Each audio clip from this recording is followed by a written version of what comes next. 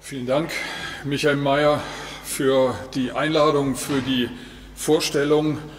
Ich denke selbstverständlich gerne an gemeinsame Marburger und Berliner Zeiten zurück. Ich habe viel gearbeitet in der Bibliothek des Friedrich-Meinecke-Instituts, als es hier in der Rostlaube äh, noch äh, angesiedelt äh, war. Ich bin da eben reingekommen und habe gedacht, es ist eigentlich alles wie früher, nur das Meinecke-Institut ist weg. Ähm, ich bin froh, wieder hier zu sein und es ist schön, einmal an diesem Platz hier zu stehen.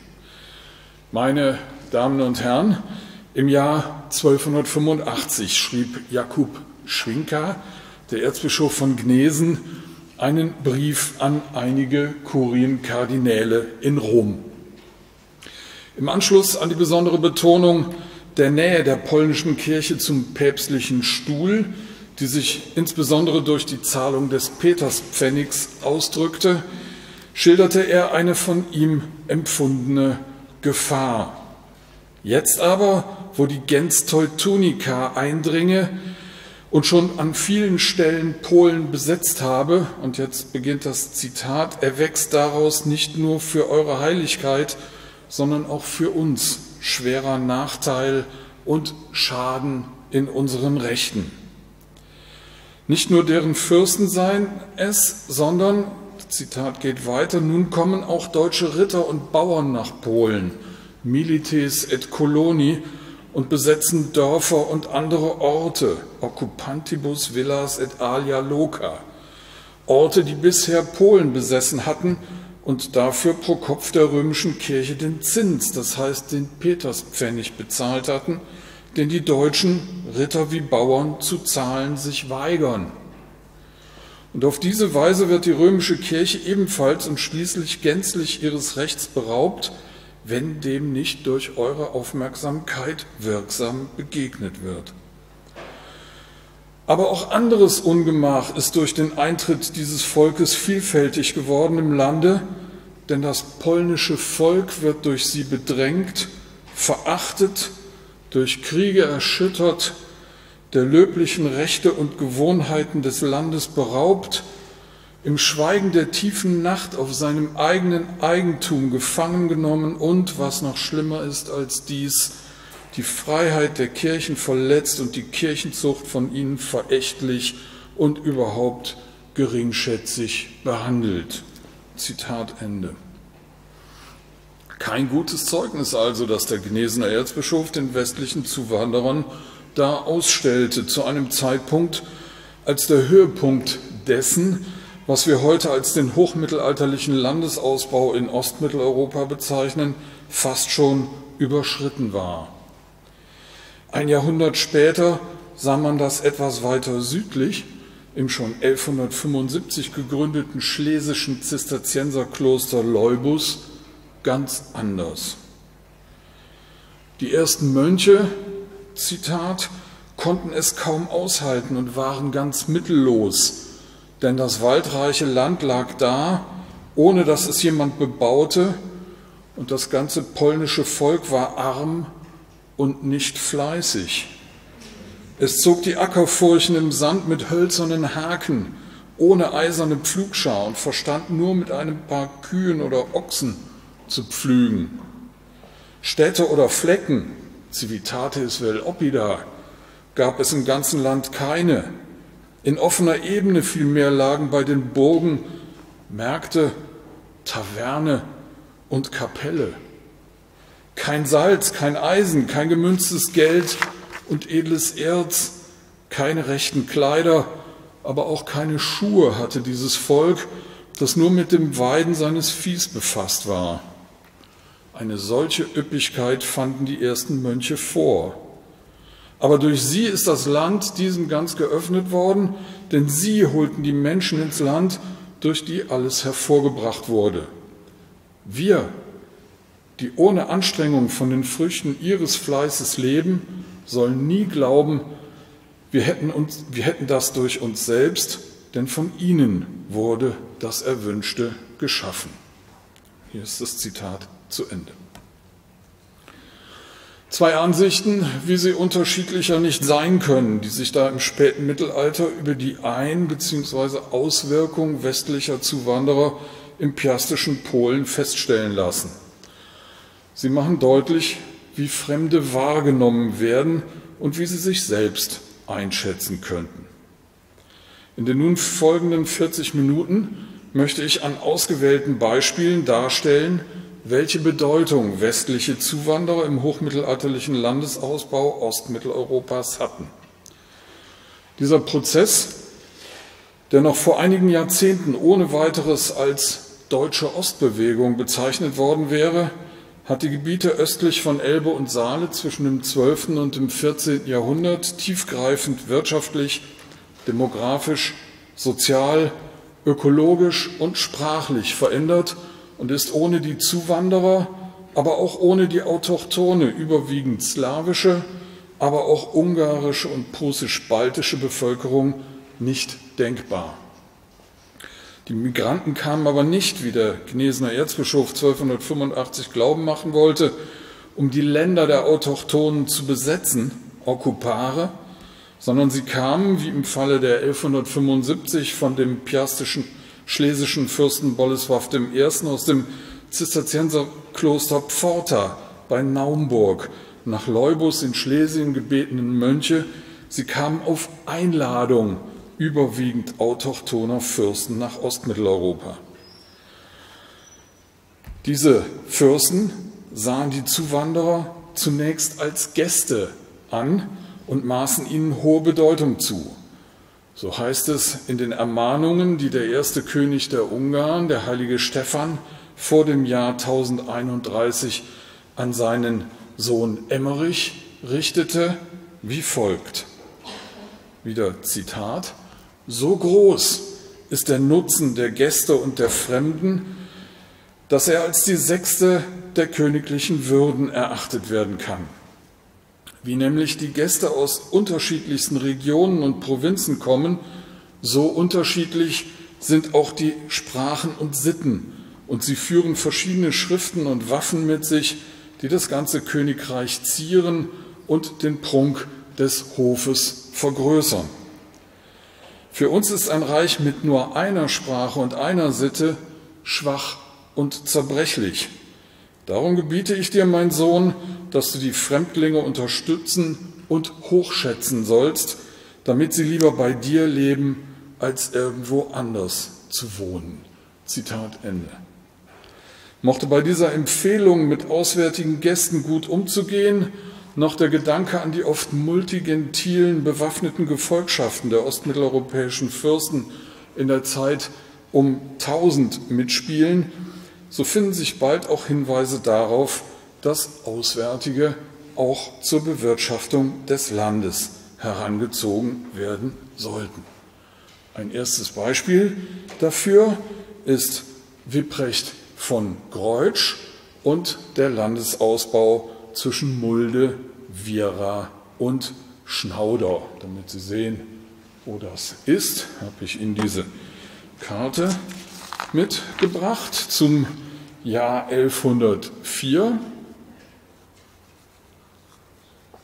Zum Jahr 1104 überliefern die Annalen des Klosters Pegau im heutigen Sachsen, südlich von Leipzig gelegen, ein gewisser Wipprecht habe im Bistum Merseburg ein Novale, ein Neuland auspflügen lassen. Dazu seien aus Franken, wo seine Mutter Sigena verheiratet sei, Koloni herbeigeführt worden. Diese hätten auf seine Anweisung Silva funditus extirpata den Wald völlig ausgerodet, um jene Landschaft oder Region zukünftig zu bewohnen und hereditario jure in Erbrecht zu besitzen.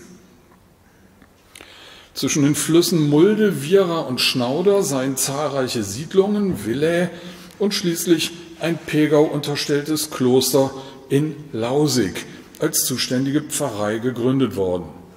Bischof Albuin von Merseburg habe im Jahr 1105 auf Wunsch Wipprechts für namentlich angegebene und zukünftig zu gründende Siedlungen urkundlich deren Zehnte dem Jakobskloster in Pegau zugesprochen. Als erheiternd, ridikulosus empfand es der Analyst, dass ein jeder den von ihm mit seiner und seiner Familie Arbeit hergerichteten Besitz nach seinem Namen habe benennen sollen. Ex su nomine non cupare. Tatsächlich finden sich unter den in der Urkunde des Merseburger Bischofs angegebenen Namen der gegründeten Siedlungen eine ganze Reihe von patronymischen Ortsnamen mit dem Grundwort Dorf, unter anderem Sasslausdorf, Ottendorf, Ballendorf, Milansdorf und auch ein Etzholzhain. Der Initiator dieses Siedlungsprozesses im Markengebiet östlich der Saale war Wipprecht II. von Greutsch, eine schillernde Gestalt mit weitreichenden Beziehungen zwischen den salischen Kaisern Heinrich IV. und Heinrich V. sowie dem böhmischen Fürsten Wratislav II. aus dem Geschlecht der Przemysliden und dessen Tochter Judith, die Wipprechts Frau wurde.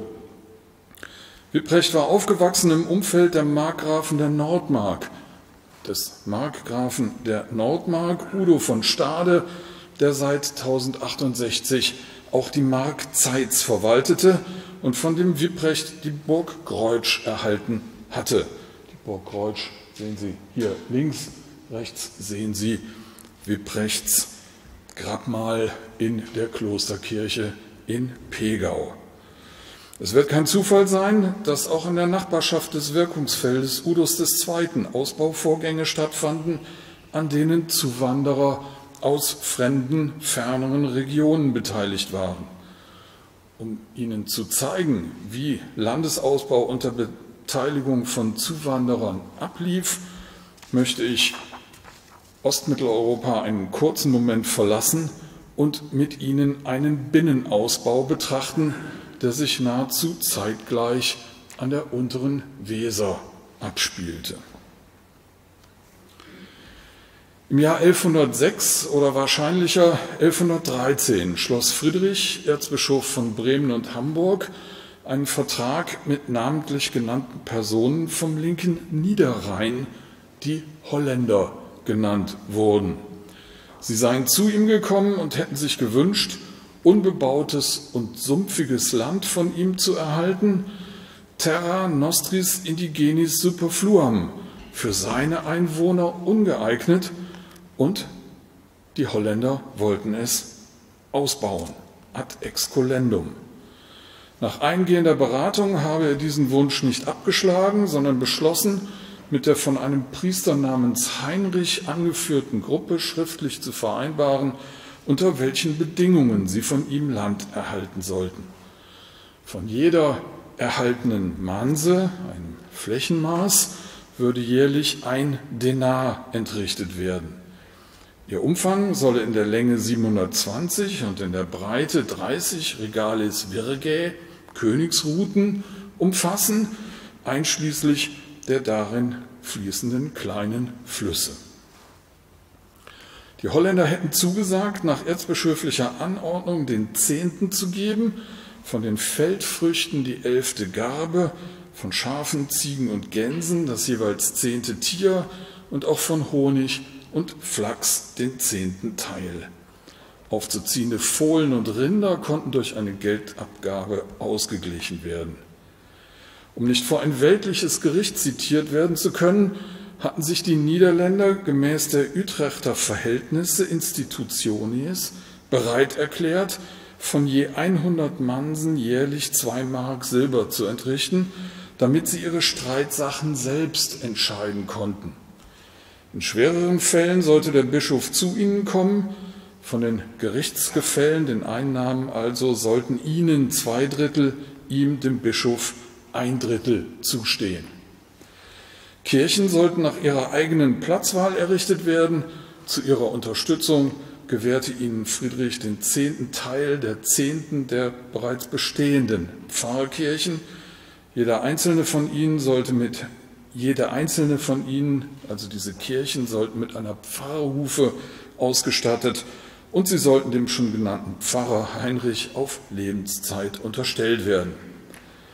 Den ihn begleitenden Laien Helikin, Arnold, Hiko, Fordold und Referik und ihren Erben schließlich überlief Erzbischof Friedrich das erbetene Land secundum seculi leges et privata conventionem gemäß weltlicher Gesetze und der dazu verfassten Urkunde. Die nur abschriftlich, nicht als Ausfertigung erhaltene Urkunde Erzbischofs Friedrichs enthält keine Angaben darüber, wo sich die Holländer um den Pfarrer Heinrich niederlassen wollten. Nach kritischer Diskussion scheint aber inzwischen sicher zu sein, dass der Vertrag nicht für das alte Land an der Unterelbe um Stade geschlossen wurde, sondern für die Bremen nördlich und nordöstlich unmittelbar benachbarten Kirchspiele Wasserhorst und Horn, in denen schon im Jahr 1187 Holländerhufen überliefert sind. Für diejenigen, die schon mal in Bremen gewesen sind. Das ist mehr oder weniger genau da, wo sich heute die Universitätsneubauten, naja, aus den 70er Jahren erheben. Die Niederländer ließen sich dort zunächst nördlich des altbesiedelten Bremer Dünenrückens zwischen den Flüsschen Kleiner Wümme und Wümme beiderseits eines Siedwenje genannten Dammes nieder und legten eine Marschhufenflur an, in der jede Bauernstelle mit einer annähernd gleich großen, an das Hofareal anschließenden und die gesamte Flur durchziehenden Landstreifenparzelle von 47,5 Hektar Fläche versehen war. Nur zur Orientierung, hier ist Bremen, hier äh, ist der Innenstadtbereich, irgendwo hier ist das Weserstadion und Sie sehen hier im Hinterland heute erstreckt sich dort natürlich auch die Großstadt. Dort sind diese Fluren, von denen ich jetzt spreche. Diese Streifen waren durch der Entwässerung dienende, senkrecht auf die kleine Wümme zulaufende Gräben voneinander abgegrenzt. An der siedlungsabgewandten Seite endeten sie am sogenannten Achterdeich, der dort das Eindringen von Wasser aus dem Binnenland verhindern sollte.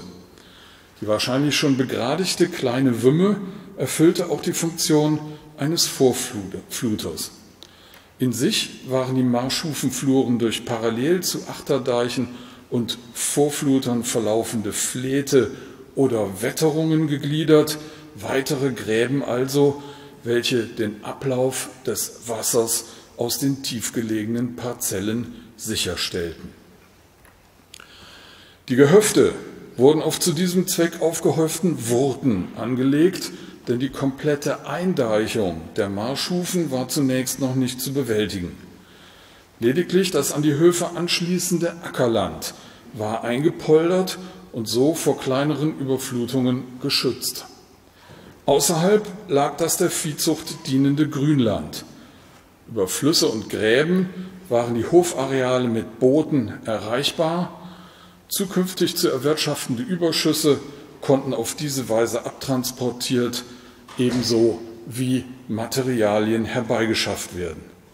Kirchen wurden gemeinsam für mehrere Siedlungen oder Bauerschaften auf höher gelegenen Dünen errichtet. In den offenbar den Siedlungsunternehmen Unternehmern reservierten Eckstücken der Holländerfluren konnten später Herrenhöfe entstehen.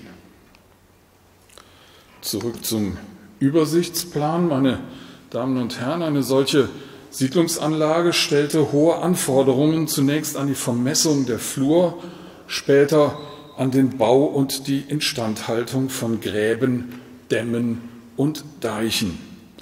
Entsprechende Erfahrungen brachten die Holländer mit, denn im Bistum Utrecht und in den Grafschaften Flandern und Holland wurden solche Flussmarschhufenfluren seit der Mitte des 11. Jahrhunderts angelegt. Nach der Absteckung der Grenzen der Flur wurden zunächst der mit dem niederländischen Fachterminus Seitwände bezeichnete Damm und der Achterdeich aufgeschüttet, auf dem auch Baumaterial herangebracht werden konnte. Nach der Vermessung der Hufen wurden die Hofwurten angelegt und erst später konnten sie durch einen vorderen Deich miteinander verbunden werden. Die ersten auf diese Weise aufgebauten Bauernschaften waren Oberblockland, Hemme, Damme und Wasserhorst im Westen, Lehe, Geren und Fahr im Osten. Vom Erscheinungsbild eines heutigen Marschhufendorfes mit seiner Vielzahl von schmalsten Parzellen war man zu diesem Zeitpunkt aber noch weit entfernt. Die schmalen Langstreifen entstanden erst durch die Erbteilung, die wiederum durch, spezielle, durch die spezielle Rechtsform ermöglicht wurde, welche Erzbischof Friedrich von Bremen-Hamburg schon den Zuwanderern von 1106-1113 zugestanden hatte. Das Holländerrecht erlaubte den Siedlern, ihre Höfe und Hufen frei an ihre Erben weiterzugeben. Neben den am Getreideanbau ausgerichteten Siedlungs- und Flurformen war es dieses Recht der freien Erbzinsleihe, das zunächst aus den Niederlanden kommend, dann auch aus dem Weser- und Elbmündungsgebiet seine Ausbreitung schließlich in die ostmitteleuropäischen Gebiete finden würde.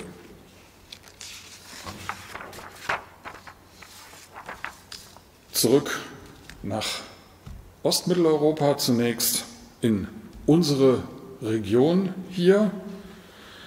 Die Eignung dieses Landes zum Ausbau sprach sich seit Anfang des 12. Jahrhunderts herum. Dafür sorgte ein entweder auch auf Wipprecht von Greutsch gefälschter oder von ihm wirklich unterzeichneter Aufruf, der vielleicht nahezu gleichzeitig mit der fränkischen Zuwanderung zwischen Elster und Viera und dem Aufbau der Marschhufendörfer an der Weser in den Kirchen Thüringens und Sachsens verlesen wurde. Stellen Sie sich vor, ich bin der Pfarrer auf der Kanzel und verlese jetzt, so gut es geht, diesen Aufruf.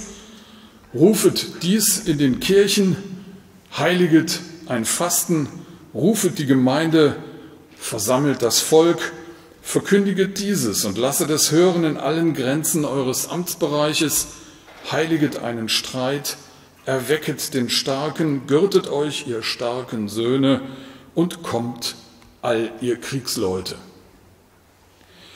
Die Heiden sind schlimm, aber ihr Land ist sehr gut an Fleisch, Honig, Geflügel und Mehl und, wenn es bebaut wird, voller Reichtum der Ernten vom Lande, sodass ihm keins verglichen werden kann. So sagen es die, denen es bekannt ist. Daher, o ihr Sachsen und Franken, Männer aus Lothringen und Flandern, ihr berühmten Bezwinger der Welt, hier könnt ihr eure Seele retten und, wenn es euch so gefällt, das beste Land zum Bewohnen gewinnen. Er, der die Franzosen, die vom fernen Westen aufgebrochen sind, im entlegensten Osten mit seinem starken Arm über seine Feinde triumphieren ließ, er gebe euch den Willen und die Macht, diese Nachbarn und so unmenschliche Heiden zu unterwerfen und dass euch alles wohl gelinge. Zitat Ende. Dieser inzwischen von Michael Menzel zwar als Fälschung angesehene, dennoch die Stimmung des 12. Jahrhunderts widerspiegelnde Kreuzzugsaufruf sächsischer geistlicher und weltlicher Herren aus dem Jahr 1108 oder von 1147, der nicht etwa zur militärischen Expedition nach Palästina agitierte, wie in diesen Jahren üblich, sondern Eroberung und Siedlung in den Markengebieten östlich der Elbe propagierte.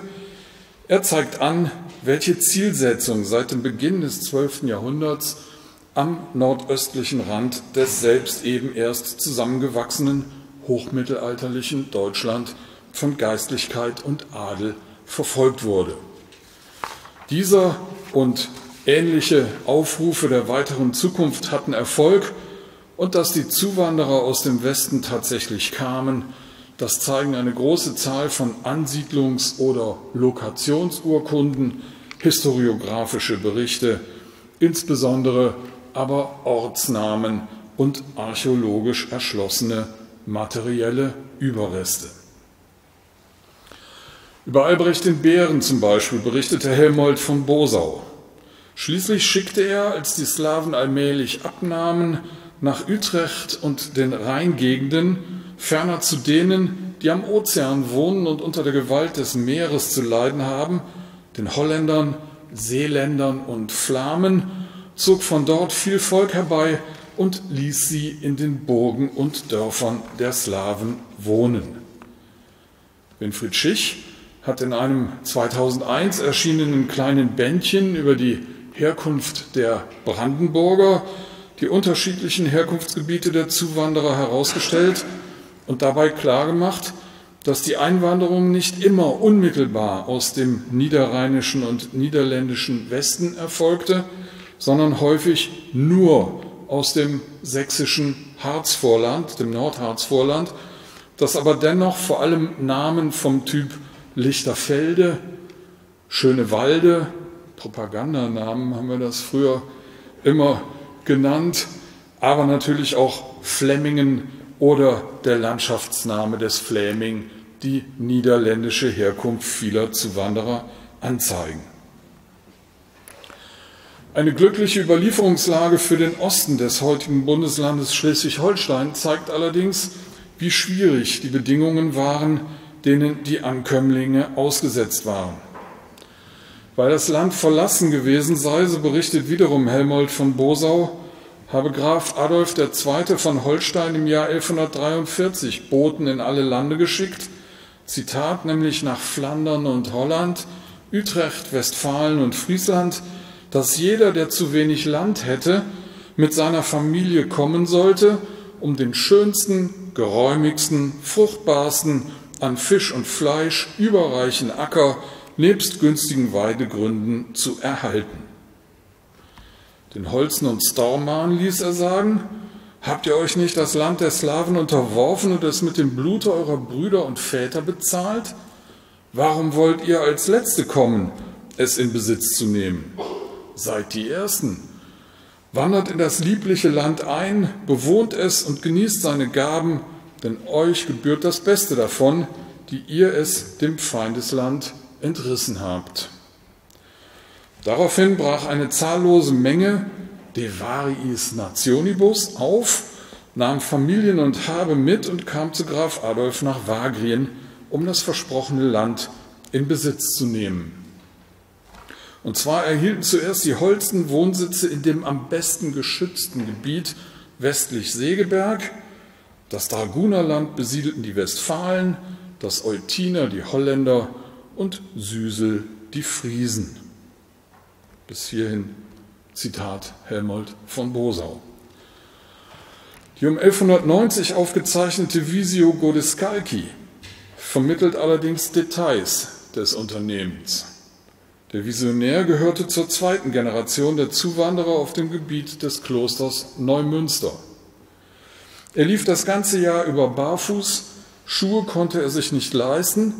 Mit seiner fast blinden Frau, seinem schwächlichen Sohn und einem Pferd, das dann auch noch bald starb, versuchte er, das ihm zur Verfügung gestellte Land zu bewirtschaften und im benachbarten Wald zu roden und die Baumstümpfe auszureißen. Wenn auch von ihm mitnichten, wie in manchen Handbüchern behauptet, erstmals das tatsächlich aus der Moorkolonisation stammende spätere Sprichwort überliefert ist, so steht sein Inhalt dennoch für Gottschalks Erfahrungen. Jetzt dieses Sprichwort, die erste Generation der Zuwanderer habe der Tod ereilt, die zweite habe Not gelitten und erst die dritte Generation sei schließlich mit Brot belohnt worden.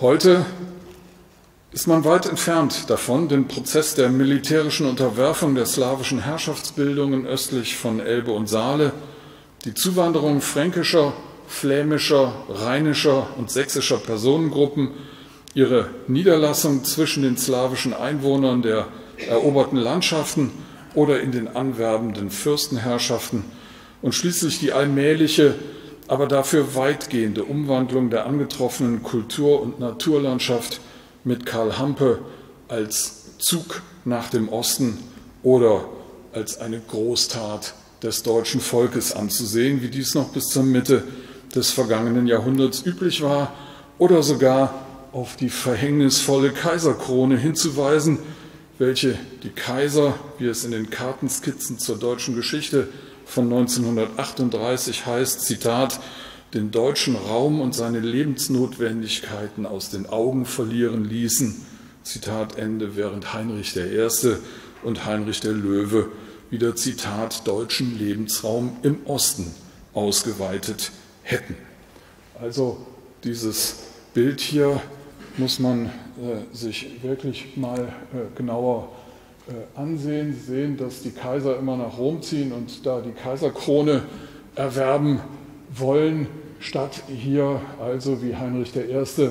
Äh, den Blick auf die wirklich wichtigen Dinge im Leben zu äh, richten, nämlich auf die Gänse, die Schweine, das äh, Getreide und das Rindvieh. Und wenn Sie den Kreuzzugsaufruf noch im Ohr haben, dann äh, wissen Sie auch, was damit gemeint war. Auch die Interpretation dieser Vorgänge im Rahmen einer insgesamt aggressiven feudalen deutschen Ostexpansion, wie es im historischen Materialismus üblich war, ist seltener geworden. Ich probiere jetzt mal, ob das auch so geht. Genau, das geht. Vielmehr scheint sich durchzusetzen, die deutsche Ostsiedlung des Mittelalters als Problem der europäischen Geschichte anzusehen. Ostkolonisation wird heute mit Klaus Zernack interpretiert als ein Zitat von West nach Ost fortschreitender universalgeschichtlicher Prozess, der die Akkulturation und Verwestlichung der östlichen Hälfte Europas bewirkte. Zitat Ende eine, wieder deutsche nationale Komponente der mittelalterlichen Ostsiedlung, so Christian Lübcke, hat in einer auf die Analyse der Strukturen zielenden Sicht ihren traditionellen Vorrang endgültig verloren. Na hoffentlich. Und auch in Polen sieht man sich nicht mehr, wie noch der Gnesener Erzbischof, durch den Landesausbau Zitat, dem Dienst fremder Staaten und Völker ausgeliefert. Zusammenfassend ist dementsprechend inzwischen Communis Opinio, dass seit dem 12. Jahrhundert aufgrund veränderter wirtschaftlicher und sozialer Bedingungen in den westlichen Landschaften des Reiches ein Auswanderungsdruck entstand, der in den Gebieten östlich der Elbe auf Bedingungen traf, die eine erfolgreiche Ansiedlung möglich machte. Ein aufgrund der gewachsenen Bevölkerung erhöhter Bedarf an Lebensmitteln, verbesserte agrarische Produktionstechniken und eine sich entwickelnde Geldwirtschaft mit zentralörtlichen Märkten förderten den Anreiz zur Überschussproduktion von Getreide. Von Getreide, an dessen Erlösen auch die entstehenden Landesherrschaften durch Steuern, Zölle und Abgaben zu partizipieren suchten. Infolgedessen wurden immer größere Flächen bislang wenig oder gar nicht agrarisch genutzten Landes diesem Getreideanbau zugänglich gemacht durch die Umwandlung extensiv in Subsistenzwirtschaft bearbeiteter Flächen slawischer Siedlungen oder durch Rodung der Wälder auf den großen gewässerfernen Arealen, etwa den brandenburgischen Platten des Teltow und auf dem Barnim. Ließen sich die Zuwanderer zunächst offenbar in Nachbarschaft bestehender slawischer Wohnstätten nieder, so wurden wohl schon in den nächsten Generationen jene großen Dörfer angelegt, die einen planmäßigen Grundriss aufweisen und noch heute im Kartenbild in ihrer jeweiligen Besonderheit als Rundlinge, Straßen und Angerdörfer zu erkennen sind. Hier sehen Sie mit den drei großen Gewannen farblich unterschiedlich dargestellt das Ort, äh, das Dorf, den Ort Schönfeld auf dem Barnim. Das ist unser Paradedorf, weil es wirklich so schön regelmäßig ist und weil es auch noch diesen schönen Propagandanamen trägt, nämlich Schönfeld. Ähm, hier wird das besonders deutlich. Verbunden waren diese Neugründungen mit ebenso planmäßig angelegten Flurformen, also Riedenschlag oder Plangewandfluren, deren Einteilungen den besonderen Erfordernissen des in Dreifelderwirtschaft und Fruchtwechsel vorgenommenen Getreideanbaus angepasst waren. Die Veränderung der Bodennutzung hatte eine Reihe weiterer gravierender Folgen. Einerseits führte die umfangreiche Rodung zum schnelleren Ablauf des Regenwassers in das Gewässersystem, weil die Böden nicht mehr in der Lage waren, die Niederschläge zu absorbieren. Aber nicht nur aus diesem Grunde stieg der Grundwasser- und Gewässerspiegel, sondern vor allem deshalb, weil die Verarbeitung des nicht in den Export gelangenden Brotgetreides vor allem in den entstehenden Städten zu Mehl und nachfolgend zu Backwaren den Betrieb von Wassermühlen notwendig machte.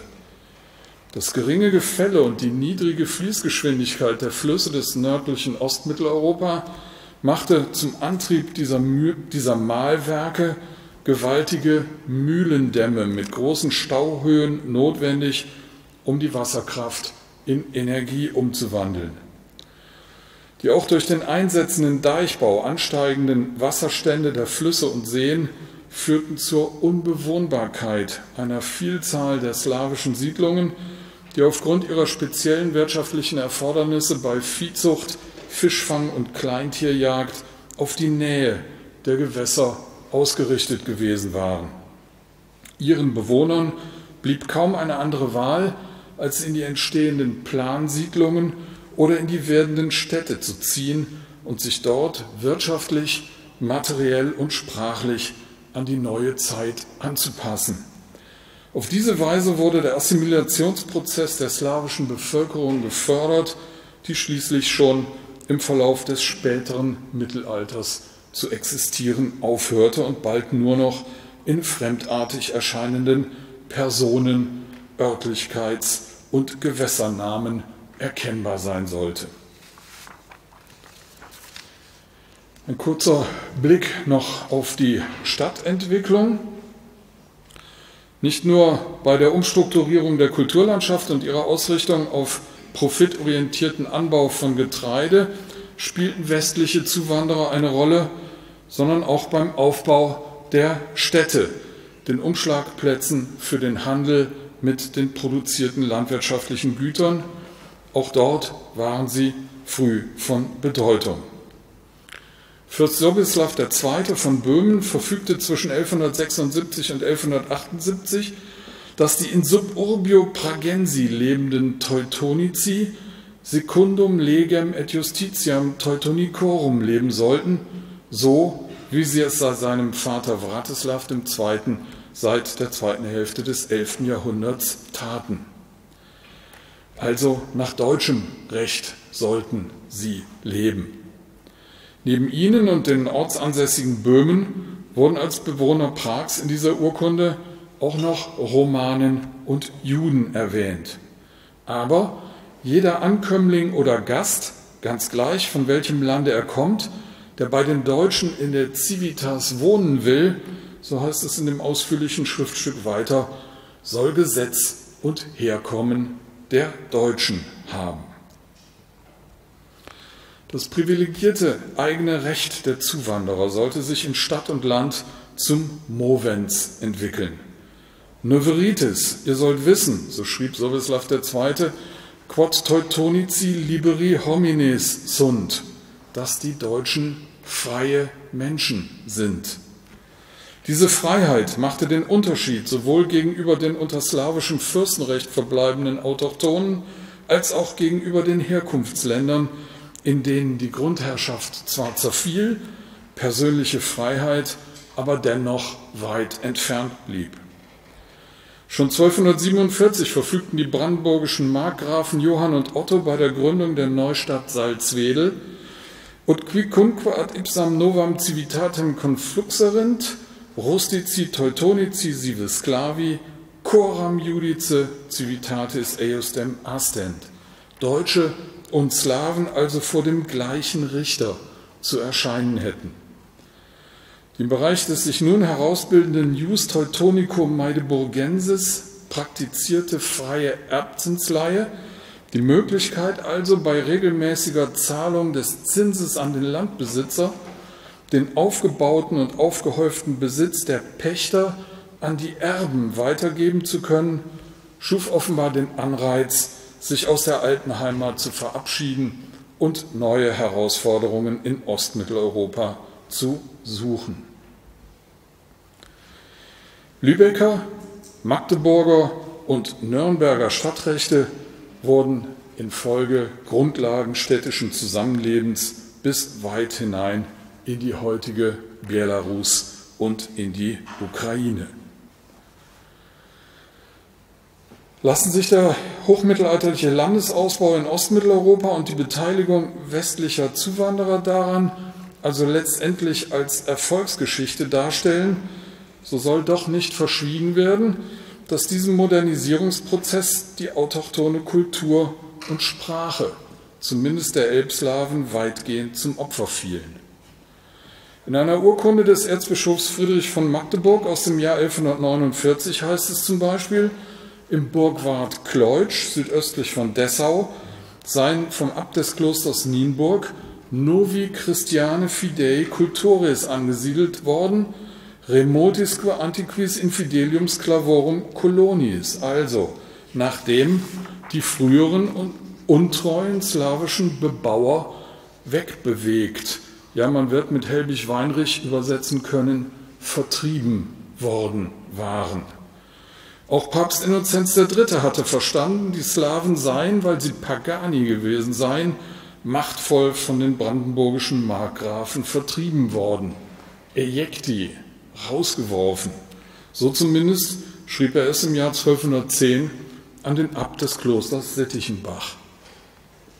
Verdrängungsprozesse können also sehr wohl vorgekommen sein und im Gegensatz zu Werner Vogel, der noch im Jahr 1960 in seinem Buch über den Verbleib der wendischen Bevölkerung in der Mark Brandenburg feststellte, Zitat, dass eine Ausrottung oder Verdrängung der Slawen nicht stattgefunden habe, äußerte sich Winfried Schich im Jahr 2010 zurückhaltender, als er schrieb, Zitat, das Verhältnis zwischen Gewalt und friedlicher Assimilierung bleibe weitgehend im Dunkeln. Zitat Ende. Eben dieses Verhältnis von politischer Macht und der aus ihr abgeleiteten möglichen Gewaltausübung im Zuge der Migrationsbewegung gilt es, bei der Bewertung des hochmittelalterlichen Landesausbaus und der Bedeutung und Wirkung der Zuwanderer in ihm nicht aus dem Auge zu verlieren. Man könnte bei der komparatistischen Einordnung der ostmitteleuropäischen Vorgänge des 12. und 13. Jahrhunderts natürlich zu dem Ergebnis kommen, Zuwanderer trügen grundsätzlich die Gefahr in sich, autochthone Mehrheitsgesellschaften zu überformen und deren Sprache und Kultur zu gefährden. Die Umstrukturierung und Modernisierung von Bodennutzung und Kulturlandschaft im hohen Mittelalter war jedoch ein politisch gewollter wirtschaftlicher und sozialer Prozess, der in seinen Folgen vielleicht mit der Industrialisierung des 19. und 20. Jahrhunderts verglichen werden kann. Auch sie führte zu zahlreichen Migrationen, die ebenso häufige Assimilierungen verschiedener Bevölkerungsgruppen zur Folge hatten. Erinnert sei an den Zuzug vieler Polen in die Bergbaureviere des Ruhrgebietes oder die sogenannten Gastarbeiter. Da ist das Wort aus dem 11. Jahrhundert wieder der Gastarbeiter der 1960er und 1970er Jahre in der alten Bundesrepublik. Während sie häufig ihre Sprache im Lauf der Zeit in der neuen Umgebung aufgaben, setzen die Zuwanderer des Hochmittelalters in den westlichen Teilen des von ihnen gemeinsam mit den Autochtonen bewirtschafteten Landes sowie in den Städten ihre Sprache und materielle Kultur durch. Dies gelang, weil sie im Gegensatz zu den Alteingesessenen die Förderung und Protektion durch politische und kulturelle Gewalten wie Herrschaft und Kirche genossen, die vom Umstrukturierungsprozess profitierten. So wurde die slawische Sprache vor Gericht nicht mehr zugelassen. In der bald eintretenden Krise des späteren Mittelalters kamen ganz im Westen der Germania Slavica sogenannte Wendenparagraphen zur Anwendung, um slawische Handwerker aus den städtischen Zünften auszuschließen. Und die protestantischen Kirchen der frühen Neuzeit gaben mit ihrer deutschen Gottesdienstsprache zahlreichen kleineren slawischen Sprachgemeinschaften den Rest, so im hannoverschen Wendland und in der mecklenburgischen Jabelheide. In Hinsicht auf das gesamte Ostmitteleuropa blieb die deutsche Sprache aber bis 1945 nur eine unter vielen anderen, auch weil sie politisch herrschaftliche Duldung ebenso wie Förderung erfuhr. Das Zusammenleben der unterschiedlichen Sprachgruppen dort war nicht immer konfliktfrei, spiegelte aber die ökonomische, soziale und kulturelle Entwicklung der ostmitteleuropäischen Länder seit dem hohen Mittelalter wider. Insofern unterscheidet sich die Zuwanderung des hohen Mittelalters deutlich von der zeitaktuellen und die Geflüchteten der Gegenwart brauchen dementsprechend ebenso wenig verdächtigt werden, Europa besetzen zu wollen, wie der Gnesener Erzbischof Jakob Schwinker berechtigt war, den westlichen Einwanderern zu unterstellen, sie hätten angestrebt, Polen zu okkupieren. Migranten sind im hochmittelalterlichen Ostmitteleuropa ebenso wie in der Gegenwart Akteure in sozialökonomischen Prozessen, die sich beeinflussen, aber nicht in jeder Hinsicht steuern lassen. Ihre Wirkung im historischen Verlauf ist dementsprechend weder gesetzmäßig noch in jeder Hinsicht vorhersehbar. Ich danke Ihnen für Ihre Aufmerksamkeit.